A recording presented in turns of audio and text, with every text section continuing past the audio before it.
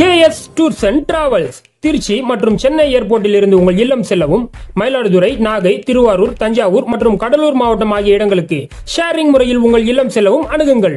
அனைத்து நாடுகளுக்கும் air ticket visiting visa bus டிக்கெட்களும் booking செய்து தரப்படும். நம்மிடம் டூர் செல்வதற்கு ஏற்ற சொகுசு பேருந்துகளும் உள்ளது.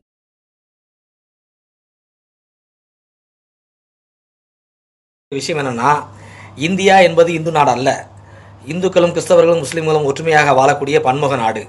இந்த நாட்டை பிளவுபடுத்துவதற்காக கைபோர் போல் கனவாவளி வந்த வந்தேரி நாய்கள் சில நாய்கள் வந்து இந்த நாட்டை பிளவுபடுத்துவதற்காக பார்த்துட்ருக்காங்க. கன் நாங்கள் கேட்குறதெல்லாம் ஒன்றே ஒன்று தான் நீங்கள் இந்து வெறி பிடித்த இந்து சமூகத்தை பாதுகாப்பது போல் அந்த உலக மக்களை வந்து இந்த ம எங்களுடைய மக்களை வந்து நீங்கள் ஏமாத்துறீங்க.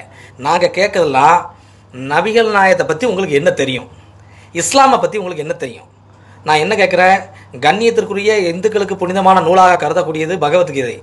கிறிஸ்தவர் கிறிஸ்தவர்களுக்கு கண்ணியமாக இருக்கக்கூடிய கிறிஸ்தவர்களுக்கு வந்து அவருடைய இறைத்துவம் மூலமாக வழங்கப்பட்ட இறுதி நூலான ப ம- பைபிள். அதே போல் க கண்ணியத்திற்குரிய இஸ்லாமிய மா மார்க்கத்துக்காக வழங்கப்பட்ட நூ- நூல் வந்து திருக்குரான் இந்த குரானில் உள்ள வழி வழிகளை வந்து படி படித்து அதன்படி நடக்கிறது தான் இந்த மார்க்க நூல் படி நான் கேட்குறேன் உங்களுடைய இந்துக்கள் நூலாக கருதக்கூடிய பகவத்கீதையை பற்றி நீங்கள் படிக்கிறீங்களா?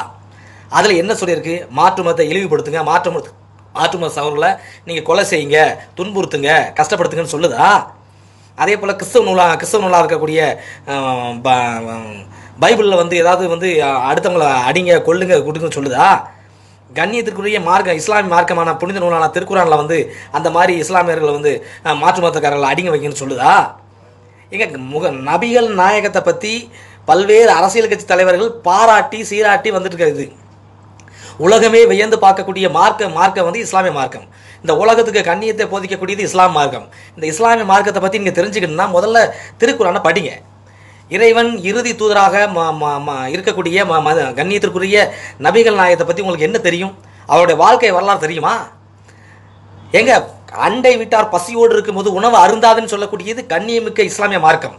அது மட்டுமல்ல உறவுகளை முறித்து கொண்டவன் சுவனம் புரிய மாட்டான்னு சொல்லி உறவுகளை மேம்படுத்த சொல்லுவது இஸ்லாமிய மார்க்கம். எங்க நபிகள் நாயகத்துடைய வாழ்க்கை வரலாறு தெரியுமா? அவர் நடந்து வந்த கடந்து வந்த பாதைகள் தெரியுமா?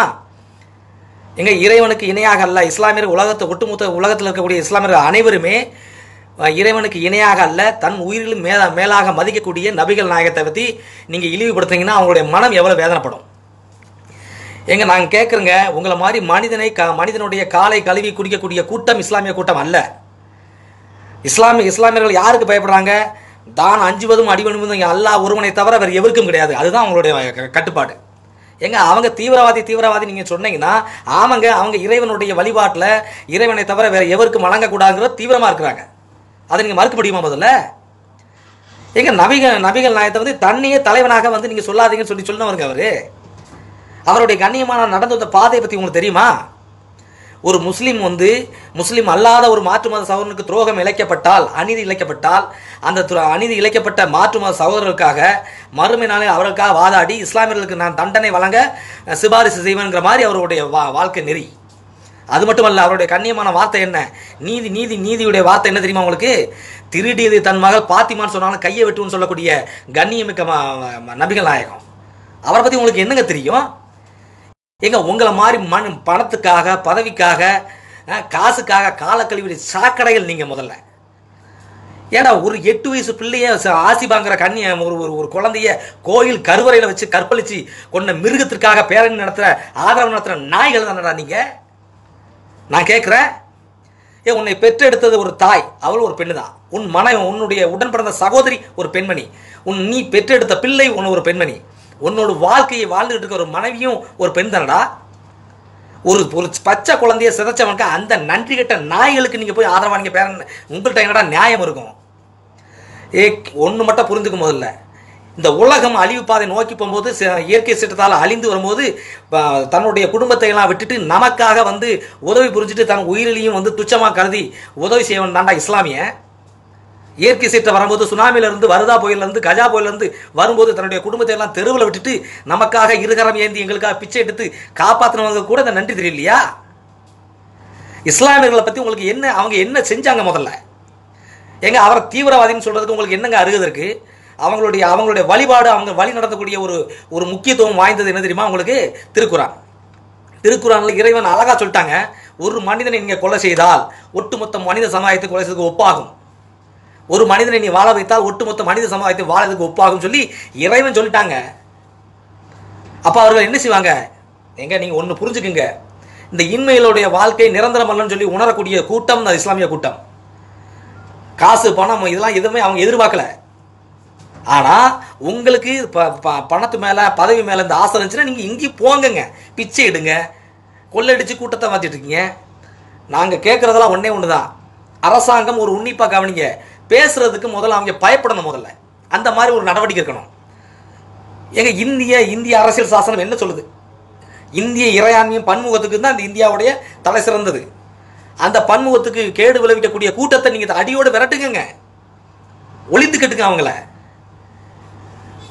எங்க இந்த எங்களுக்கு எங்களுடைய பாதிப்பு இன்னைக்கு ஒன்றும் இல்லை உலகமே மிரண்டு போயிருக்கக்கூடிய அழிவு நோக்கி போயிருக்கக்கூடிய கொரோனாவில் தன்னுடைய உறவுக்காரங்க தன்னுடைய தாய் தகப்பன் எவன் இறந்தாலும் போட்டு போட்டு ஓடிடுதாங்க அங்க. புதைக்கிறதுக்கு பயம். நமக்கும் கொரோனா வந்துடும்னு ஆனால் இஸ்லாமியர்கள் ஃபுல்லாக அனைத்து இஸ்லாமியர்களும் என்ன சொன்னாங்க? மாற்றும் அதாவது அவங்களுடைய இறந்தவர்களுக்கு எவ்வளவு கண்ணியப்படுத்தணும்னு சொல்லி சொல்லிக் கொடுக்கக்கூடியது இஸ்லாமிய மார்க்கம். நபிகள் நாயகம் ஐயா அவர்கள் என்ன செஞ்சாங்க தெரியுமா? மாமா அவர்கள் அவருக்கு ஒரு நாளைக்கு நபிகள் நாயகம் உட்காந்துருக்கும் போது அவருடைய சகாப்களோட உட்காந்து பேசிட்டு இருக்காங்க. ஒரு ஒரு இறந்தவருடைய பணம் அந்த இறந்தவருடைய பா- பாடி கொண்டு போகுது. நபிகள் மாமா வந்து எந்திரிக்கிறாங்க.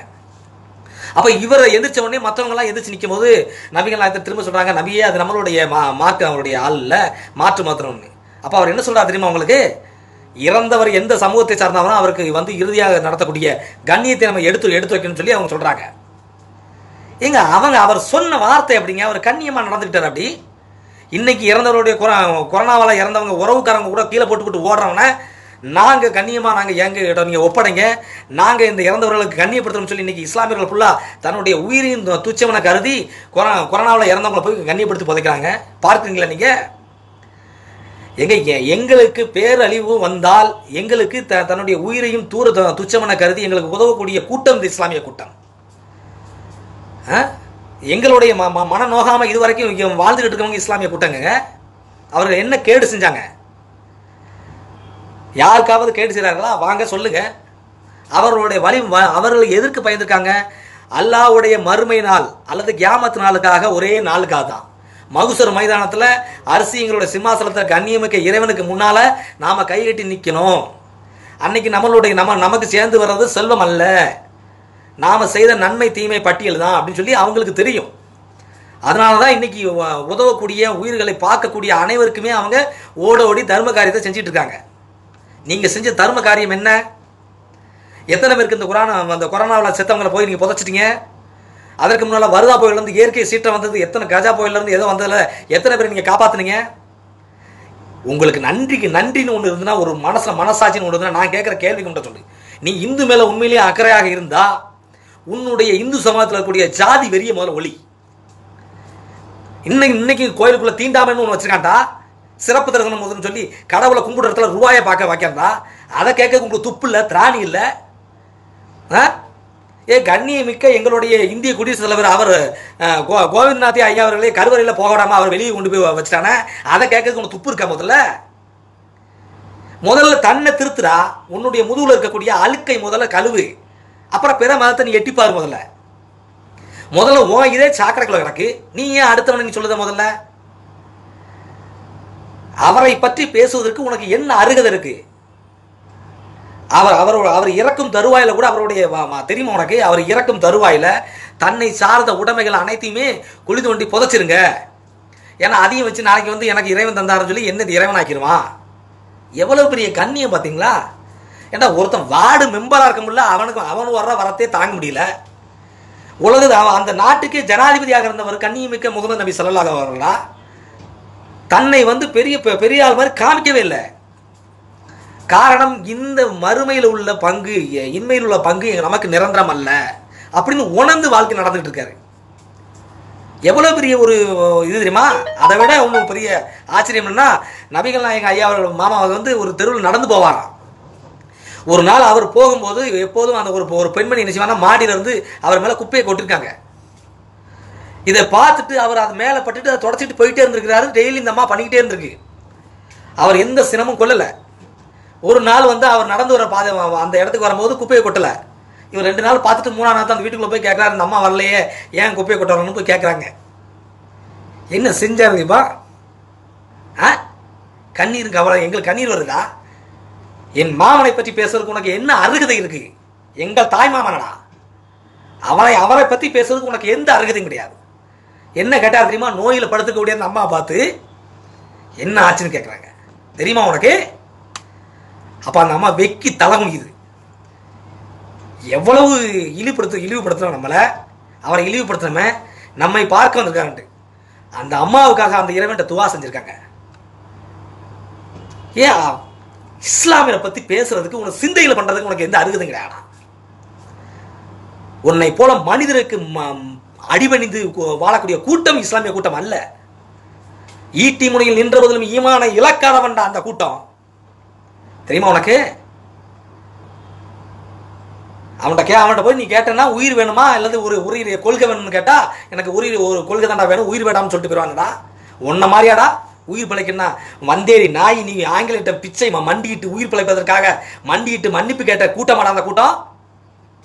ஆ? உனக்கு தெரியுமா? அவரை அவர் அவருடைய வீரத்தையும் பற்றி நான் சொல்கிறேன் கேட்டுங்க முதல்ல. நபிகள் நாயகம் வந்து அவர் ஒரு ஒரு போர் முடிஞ்சிட்டு வந்து ஒரு இடத்துல வந்து படுத்துக்கிட்டாங்க எல்லாருமே. படுத்துக்கும் போது ஓய்வு எடுக்கும் போது எல்லாரும் அவங்கவுங்க ஒரு ம மரத்துக்கடியில் போய் படுத்துட்டாச்சு. நபிகள் நாயகம் அவர்கள் வந்து படுத்துக்காப்பில். அவருடைய எதிரியா இருக்கக்கூடிய போய் அவருடைய கழுத்தில் க வாழ் வச்சுட்டான். நபியே இப்போ உங்களை நான் கொலை செய்ய போகிறேன் உங்களை யார் காப்பாற்றுவார் அப்படின்னு என்னை மா- என்ன என்ன என்னை அல்லாஹ் காப்பாற்றுவான்னு சொன்னவர் அவர் வாழை கீழே போட்டான் கழுத்தில் கத்தி வச்சதுக்கு அப்புறமா இறைவன் என்ன காப்பாற்றுவான காரணம் என்னன்னா இறைவன் அருமையாக சொல்றாப்ல பழுத்த இலகுட என்னுடைய அணுன்றி அசையாது. அல்லாஹ் விருப்பமின்றி எந்த உயிரும் மரணிக்காதுங்கிறத உணர்ந்த கூட்டமடா இஸ்லாமிய கூட்டம். மவுத்து வந்துட்டுனா ஒரு நோண்டி முந்தவன் செய்யாது பிந்தவன் செய்யாடா அப்படிங்கிற உணர்ந்த கூட்டமடா. ஆ? ஊடகங்களால் மறைக்கப்படும் செய்திகளை உடனுக்குடன் தெரிந்து கொள்ள எங்கள் சேனலை சப்ஸ்கிரைப் செய்து பெல் பட்டனை அழுத்திக் கொள்ளவும்.